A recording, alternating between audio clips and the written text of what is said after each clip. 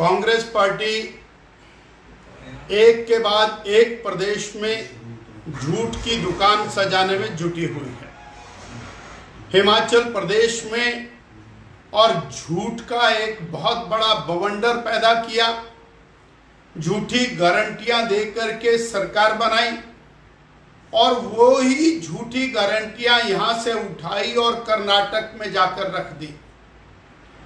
और जो हालत हिमाचल की गारंटियों की हुई। उससे भी ज़्यादा बुरी हालत कर्नाटक की गारंटियों की हुई है। और इतनी हालत खराब होने के बाद अब उस दुकान को उठा करके हरियाणा में सजा दिया गया। हिमाचल प्रदेश में गारंटियों के कारण हिमाचल प्रदेश का बेड़ा गर्क कर दिया। हिमाचल प्रदेश के अंदर इन गारंटियों के चलते विकास कार्य बंद हो गया। इन गारंटियों के चलते लोगों की तनख्वाह, लोगों के डीए, लोगों के मेडिकल बिल देने बंद हो गए। परंतु वो जो गारंटियों का यहाँ से उठाया हुआ टोकरा है, वो अब हरियाणा में सजा दिया गया। हिमाचल प्रदेश में 300 यूनिट बिजली फ्री देने की बात करते करते बिजली के दामों में इजाफा कर दिया।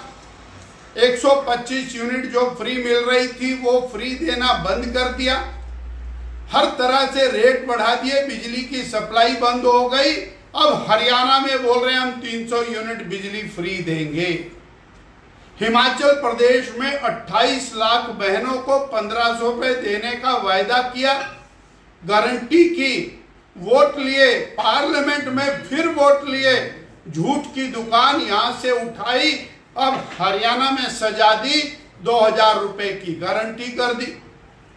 ये गारंटियों के, झूठी गारंटियों के आधार पर पूरे देश के अंदर एक ऐसा माहौल पैदा करने जा रहे हैं कि कांग्रेस पार्टी वास्तु स्थिति यह है कि कांग्रेस पार्टी को ना देश की चिंता है, ना प्रदेश की चिंता। यहाँ जिस तरह से और वोट लेने के लिए होड़ लगी है, प्रदेश जाए भाड़ में, वोट मिलना चाहिए कांग्रेस पार्टी को, सरकार बननी चाहिए कांग्रेस पार्टी की, और इनको पता है, एक बार बन जाएगी, दोबारा तो बनेगी नहीं। इसलिए भारतीय जनता पार्टी जो काम के नाम पर वोट मांगती है और कांग्रेस पार्टी झूठी गारंटियाँ दिखाकर एक बार फिर हरियाणा के अंदर लूट का मसौदा तैयार कर रही है।